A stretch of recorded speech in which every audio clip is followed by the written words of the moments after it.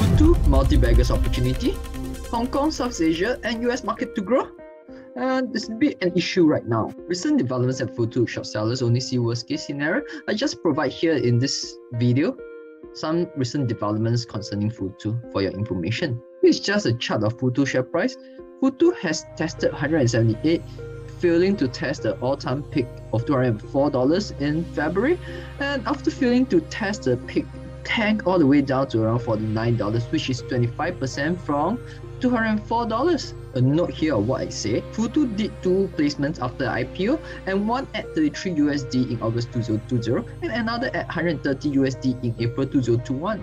Futu is definitely not short of funds on its balance sheet with 300 million USD share purchase program announced after recent poor share price performance. This is their corporate announcement. Just take a quick look.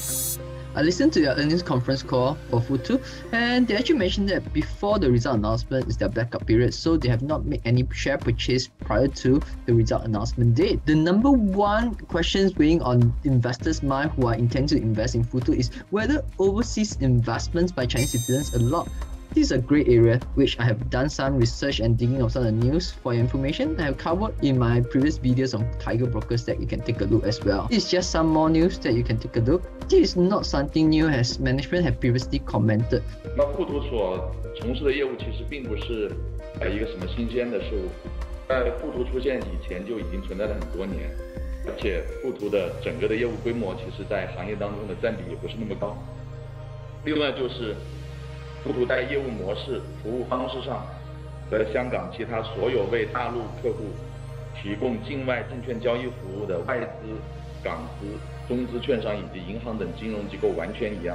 I've double checked what management say by looking at Jefferies report. Just take a quick look.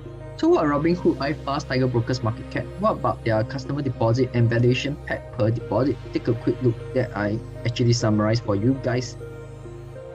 Aha, let's take a look at the financials. With the exception of GameStop Saga in 1Q, you actually see that the other quarters, Futu revenue and trading volume have been going up relatively well.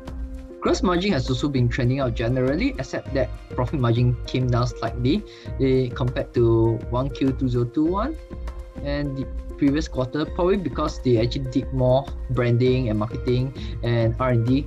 So let's take a quick look of their advertisement to see how good are they in their marketing Everyone around me is talking about investing. Do you invest too? Moo There's so much research to do, but so little time. Well, isn't it funny for the advertisement? But anyway, you see that the paying users went up. Just that client assets slightly came down, probably due to their investments in new economy stocks. Probably the Chinese tech stocks came down.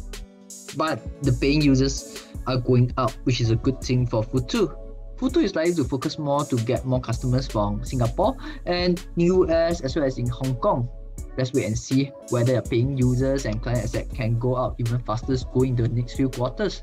Number of daily average revenue trade went up, but that as percentage of paying users came down, probably due to market conditions as well as users' background. Not forgetting that Singapore investors and traders are typically more conservative compared to other markets like China, all in all, I'm relatively satisfied with the performance by Futu as their profit has been growing over the quarters and this is backed by an increase in paying users and that is going up as well.